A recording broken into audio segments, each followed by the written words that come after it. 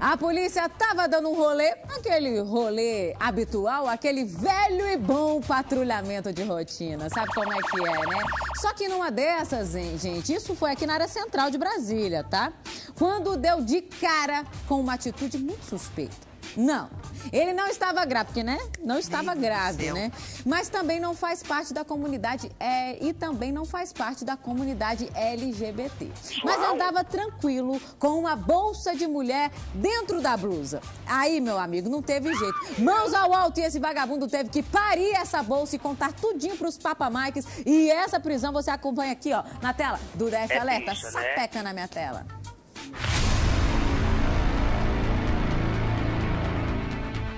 É que tá vindo pra cá. Para aí, vai, para aí na cabeça, ó. Mão na cabeça.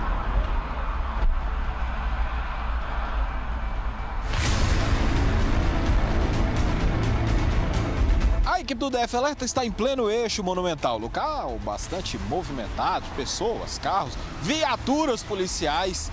Essa é a diferença. O indivíduo que tinha acabado de roubar a bolsa de uma mulher no setor hoteleiro norte resolveu atravessar a pé até o setor comercial sul. Só que no meio do caminho tinha uma viatura do Getop 23. O resultado dessa resenha você acompanha agora.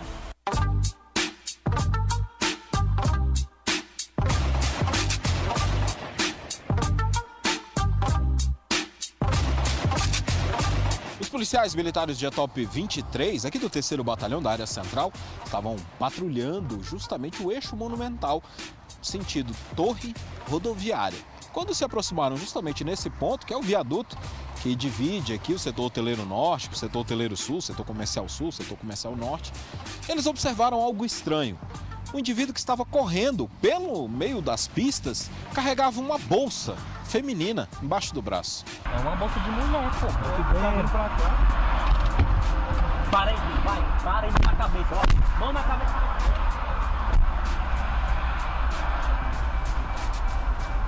O suspeito de cara já largou a bolsa no chão e disse que estava pegando o objeto para levar para outro. E na realidade ele só estava fazendo a travessia mesmo, do lado norte para o lado sul. Os policiais acharam aquela conversa muito estranha, fizeram a detenção dele e levaram para a quinta delegacia de polícia. E olha a surpresa! Quando os policiais chegaram lá, a vítima, a dona da bolsa, estava registrando a ocorrência de roubo. Apesar do nome dele não ter sido divulgado pela Polícia Militar, a vítima reconheceu ele. E lá na delegacia foi constatado que ele tem participação em diversos crimes de roubo, furto, roubo a pedestres, tráfico de drogas, várias ocorrências criminais contra ele.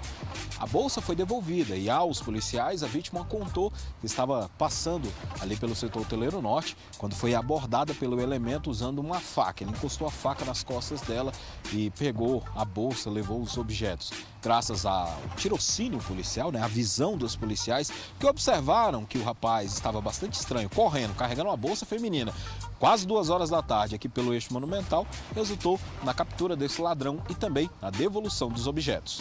DF Alerta, a verdade na lata.